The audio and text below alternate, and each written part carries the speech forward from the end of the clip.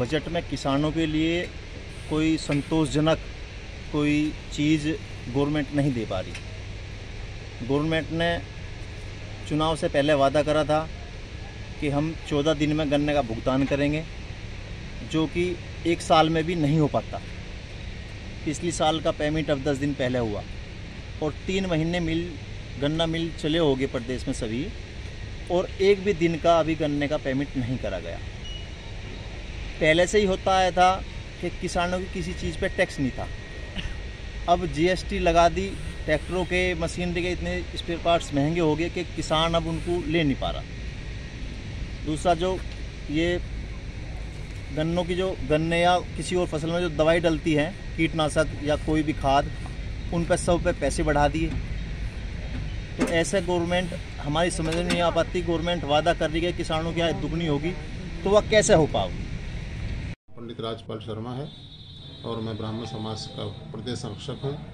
जो आज का बजट पेश किया गया है, इसमें सबसे ज़्यादा अच्छाई हम लोगों के लिए है कि जो सीनियर सिटीजन है, पचहत्तर साल के, उनको कोई आर दाखिल नहीं करनी पड़ेगी, जो कि बहुत राहत की बात है।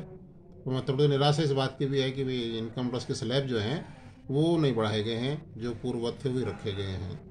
मैं रवि संगल पश्चिमी उत्तर प्रदेश संयुक्त दो व्यापार मंडल का मैं नगर का महामंत्री व सराफ एसोसिएशन शामली का नगर अध्यक्ष हूँ।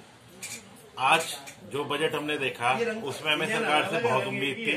उसमें कुछ फ़ायदे आए हैं कुछ नुकसान है। जैसे हम चाह रहे थे कुछ इसमें रिटर्न बढ़ जाएगा श्रेय बढ़ेगा वो नहीं बढ़ पाया। दूसरा व्यापारियों के लिए हमने कई सारी योजनाएँ मांगी थी। जैसे हमें इसमें कोरोना काल में दिक्कत आई थी कि जो हमारे एक तो ये जो हमारे ऋण माफ़ी है, वो उसे छूट कर दी जाए। जो हमारी ये है वे छूट करनी चाहिए उसमें नहीं कर पाए। सोने चांदी में ढाई परसेंट की ड्यूटी उन्होंने घटाई है। उससे बहुत अच्छा किया है, उससे कम से कम जो एक आम खरीदार है, उसे सामान लेने में कुछ रेट घट जाएँगे, कुछ उसे अच्छा फील होएगा। क्योंकि अब शादियों का सीज़न आ रहा है, कुछ ना कुछ रेट घटेंगे तो पब्लिक दो सामान कुछ फालतू ले लेगी। उससे बाज़ार में कारोबार बढ़ेगा भी। सरकार को हमारे जितने भी व्यापारी है, उसमें कई सारी योजनाएँ जो हमें उम्मीद थी, जैसे हमारे कोई व्यापारी का सामान जल जाता है तो उसमें सरकार को कुछ ना कुछ ऐसी योजनाएँ देनी चाहिए, जिससे हमें कुछ ना कुछ हमें फंड मिलता रहे। जो हमारा इंश्योरेंस है, वो दस लाख रुपए का है, इसे कुछ ना कुछ बढ़ाना चाहिए। और हमारे जो पैंतालीस चालीस साल से ऊपर जो व्यापारी है उनकी जो योजना वे पेंशन की लागू करना चाहते थे जैसे हमारे हरियाणा में और जितने दिल्ली में और प्रदेश में है हमारे उत्तर प्रदेश में भी प्रॉपर लागू नहीं हुई है। तो हमारी सरकार से निवेदन है कि हमारे व्यापारियों के लिए पेंशन की भी योजना लागू की जाए। डाउनलोड करें अमर उजाला ऐप और पाए खबरें लगातार।